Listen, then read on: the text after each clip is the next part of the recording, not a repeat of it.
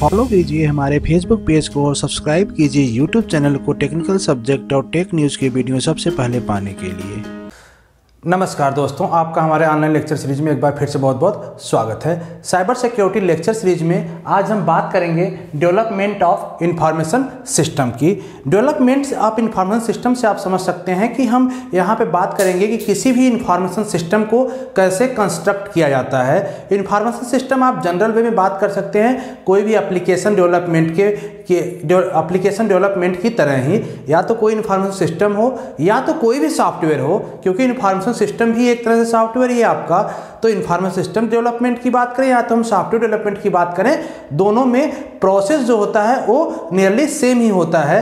तो कौन कौन सा प्रोसेस हम यूज़ करते हैं, और डेवलपमेंट ऑफ़ इंफॉर्मेशन सिस्टम होता क्या है, उसी को हम डिटेल में देखते हैं। Development of information system is similar to the application development process it has various approaches you can follow any of the following as per your requirement कई सारे यहाँ पे हमने डेवलपमेंट अप्रोचेज यहाँ पे लिस्ट आउट कर रखा है। इसमें से किसी एक को भी आप अपने रिक्वायरमेंट के अकॉर्डिंग उस मॉडल को फॉलो कर सकते हैं। जनरली जितने भी सॉफ्टवेयर डेवलपर होते हैं या इंफॉर्मेशन सिस्टम डेवलपर होते हैं, वो सारे इसी में से किसी न किसी एक मॉडल को फॉलो करते हैं आपके रिक्वायरमेंट के अकॉर्डिंग तो कौन कौन से मॉडल हैं? सबसे पहला मॉडल है classical waterfall model second iterative waterfall model third prototyping model fourth spiral model and fifth incremental model अगर आप बुक में देखेंगे या इंटरनेट पे कहीं देखेंगे तो आपको बहुत सारे और भी मॉडल मिलेंगे, लेकिन कुछ इंपॉर्टेंट जो पाँच आपके अप्रोचेज हैं, वो उसी को हम यहाँ पे कवर करेंगे तो सबसे पहले बात करते हैं हम क्लासिकल वाटरफॉल मॉडल की। क्लासिकल वाटरफॉल मॉडल यहाँ पे आप फिगर में देख सकते हैं।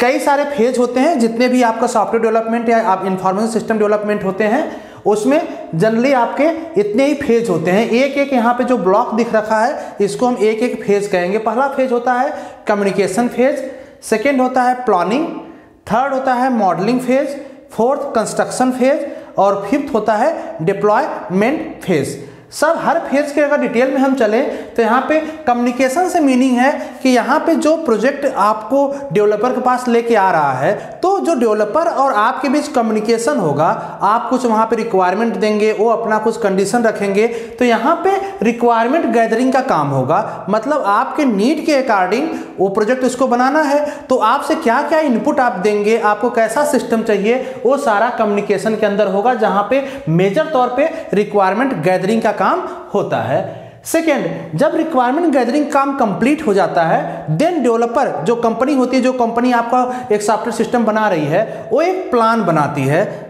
सेकेंड फ़ेज़ हो जाता है प्लानिंग प्लानिंग में क्या क्या होगा? एस्टिमेशन और शेड्यूल एस्टिमेशन में आप फाइनेंशियल से भी मीनिंग ले सकते हैं कि फाइनेंशियल कितना प्रोजेक्ट कितना बड़ा होगा, कितना खर्च उस पर आएगा।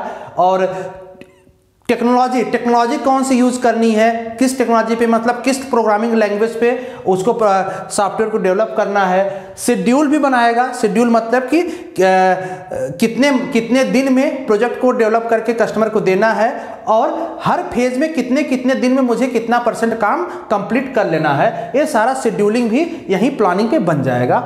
जब प्लानिंग बन जाएगा तो प्लानिंग के बाद काम होता है मॉडलिंग पे। मॉडलिंग में जनरली डिज़ाइन किया जाता है प्रोजेक्ट को. डिज़ाइन मीन्स उसका एक ओवरव्यू जिसको हम कह सकते हैं प्लान के अकॉर्डिंग जो यहाँ प्लान बना होगा उस प्लान के अकॉर्डिंग उसके आ, एक एल्गोरिथम और फ्लो चार्ट डेवलप किया जाएगा कि किस स्टेप बाय स्टेप हम किस स्टेप को फॉलो करके उस प्रॉब्लम को या उस एप्लीकेशन को डेवलप करेंगे। और उसी के बाद जब आपका एल्गो बन जाएगा तो उसको हम एक फ्लो चार्ट एक पिक्टोरियल फॉर्म में रिप्रेजेंट कर देते हैं वो आपका फ्लो चार्ट हो जाएगा। तो यहाँ पे डिज़ाइन का काम होता है और एनालिसिस का भी काम होता है। एनालिसिस मतलब यहाँ पे आपका सॉफ्टवेयर कितना आ, कितना बेटर होगा या वो कितना टाइम कितने टाइम में कोई प्रॉब्लम सॉल्व कर लेगा, कितना स्पेस लेगा, वो सारे चीज़ एनालिसिस में भी आ जाता है। नेक्स्ट आता है इसके बाद कंस्ट्रक्शन पे। अब सबसे इंपॉर्टेंट इन सारे अगर फ़ेज़ में बात करें तो सबसे इंपॉर्टेंट फ़ेज़ होता है कंस्ट्रक्शन का। कंस्ट्रक्शन मीन उसकी प्रोग्रामिंग करना। सपोज़ कम्युनिकेशन से रिक्वायरमेंट भी आ गई है प्लान भी बन गया। और उसका मॉडलिंग उसका एल्गोरिथम और फ्लो चार्ट बन गया। अब उसी फ्लो चार्ट और अलगो को कन्वर्ट करेगा कोडिंग में। कोडिंग मतलब वो किसी प्रोग्रामिंग लैंग्वेज में हो सकता है। जैसे C C plus plus Java dot net Python ये सब क्या है? प्रोग्रामिंग लैंग्वेज इसी में कोडिंग होगी जिसको हम कंस्ट्रक्शन कहते हैं।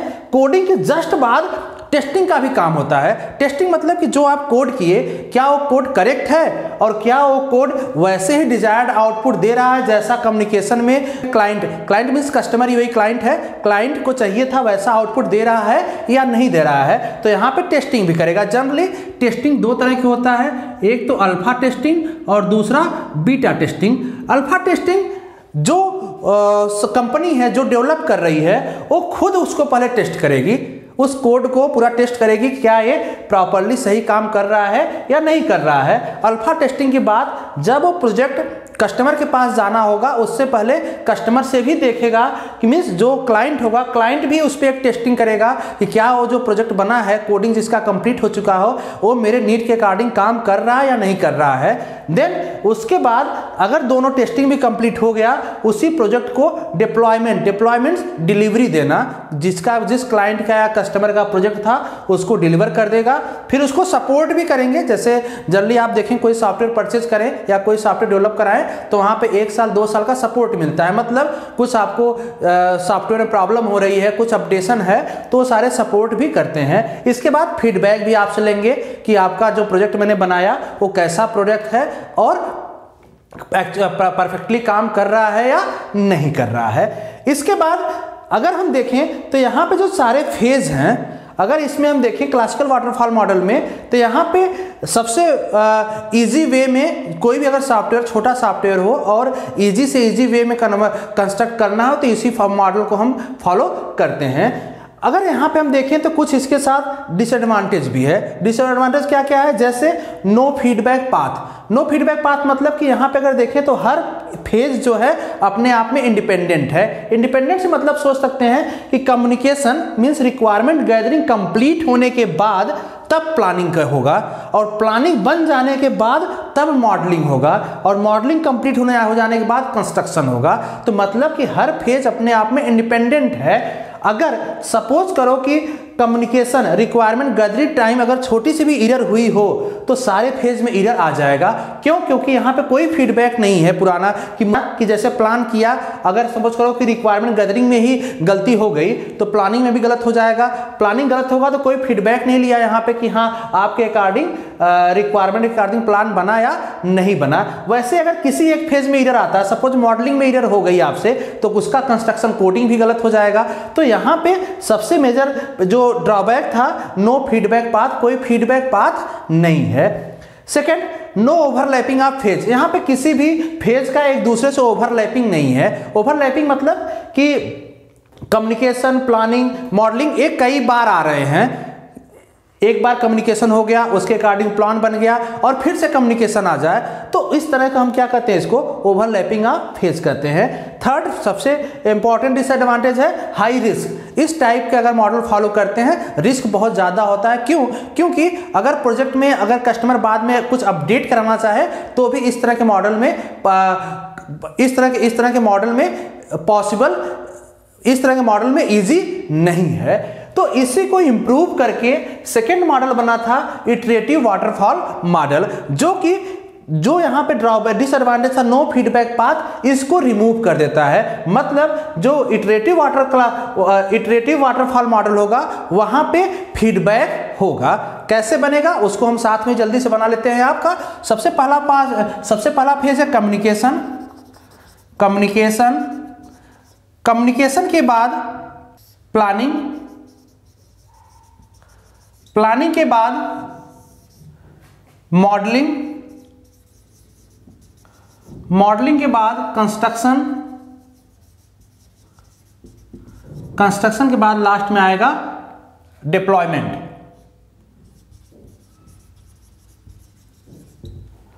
अब यहाँ पे कम्युनिकेशन के कम्युनिकेशन के बाद प्लानिंग हो रहा है। प्लानिंग के बाद मॉडलिंग मॉडलिंग के बाद कंस्ट्रक्शन कंस्ट्रक्शन के बाद डेवलप डिप्लॉयमेंट डिप्लॉयमेंट में डिलीवरी देना।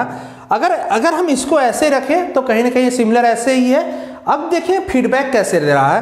ध्यान दीजिए, जैसे ही डिप्लॉयमेंट हो जाएगा डिप्लॉयमेंट के बाद ये फीडबैक सारे फ़ेज़ को देगा। मतलब यहाँ भी फीडबैक देगा, यहाँ भी फीडबैक देगा, यहाँ भी फीडबैक देगा और यहाँ भी फीडबैक देगा।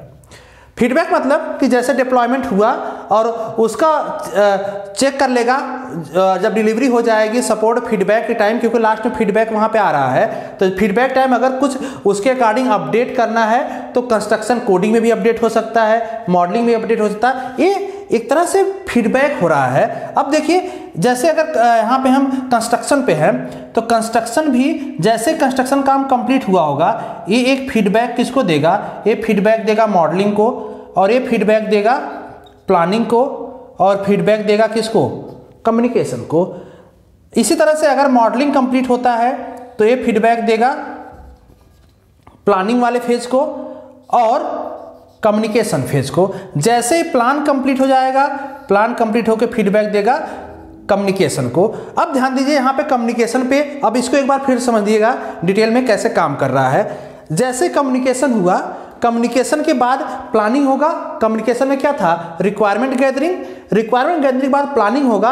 अब प्लान बनने के बाद प्लान बनने के बाद अगर हम देखें वहाँ पे तो कहाँ जा रहा है? मॉडलिंग पे। लेकिन प्लान बनने के बाद यहाँ पे फीडबैक दे रहा है किसको? कम्युनिकेशन मतलब कस्टमर से फीडबैक दे रहा है कि हमने प्लान बना लिया है।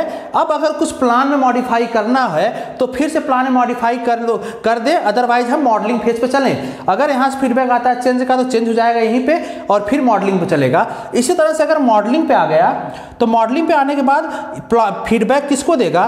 प्लानिंग को और कम्युनिकेशन को। मतलब मॉडल के साथ शो करेगा कि क्या प्लान के अकॉर्डिंग ही मॉडल बना है या कुछ कुछ उसमें इरर है तो यहाँ पे एक तरह से इरर भी चेक होती जा रही है। दूसरा फीडबैक कम्युनिकेशन को भी देगा कि जो मॉडलिंग बना है, क्या एज पर रिक्वायरमेंट जो कस्टमर से लिया गया तो उसके अकॉर्डिंग है या नहीं है? इसी तरह से कंस्ट्रक्शन फ़ेज़ कंस्ट्रक्शन जैसे ही कोड और टेस्ट हो गया फीडबैक देगा मॉडलिंग को। मॉडलिंग मतलब जो मॉडल के अकॉर्डिंग है चेक करेगा, क्या मॉडल के अकॉर्डिंग टेस्टिंग और कोडिंग हुआ है या नहीं हुआ है। ये फीडबैक प्लानिंग को भी देगा ये feedback communication requirement gathering time भी देगा। इसी तरह से डिलीवरी के बाद भी आएगा। तो इसी मॉडल को, इस तरह के मॉडल को हम कहते हैं इटरेटिव वाटरफॉल मॉडल तो यहाँ पे एक फीडबैक यहाँ से जो डिसएडवांटेज था वाटरफॉल मॉडल का नो फीडबैक पाथ ये रिमूव हो जाता है। तो होपफुली आपको क्लासिकल वाटरफॉल मॉडल और इटरेटिव मॉडल फॉल मॉडल दोनों क्लियर हो चुका होगा। आज के लेक्चर में इतना ही करते हैं। नेक्स्ट लेक्चर में हम बात करेंगे प्रोटोटाइपिंग मॉडल स्पायरल मॉडल और इंक्रीमेंटल मॉडल की। Thank you so much